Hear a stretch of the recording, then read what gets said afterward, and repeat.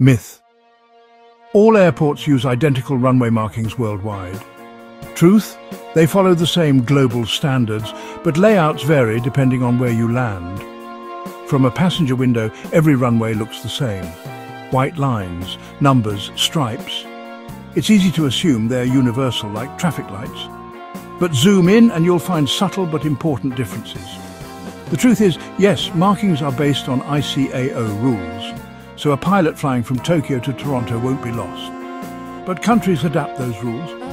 The United States, for example, often adds extra aiming point markers beyond the standard set you'd see in Europe.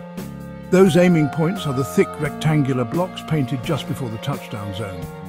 In the United States, long runways may have two sets, helping pilots judge landings more precisely.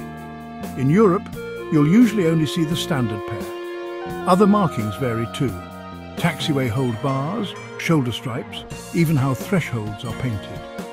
The basics are harmonised, but regional tweaks reflect local rules, runway lengths and traffic needs. So while markings look familiar worldwide, they're not carbon copies. They're a blend of global standards and local adaptations, tailored to keep pilots safe and efficient, no matter the airport. So here's the debate. Should every runway look exactly the same worldwide, or do you think local tweaks actually help pilots?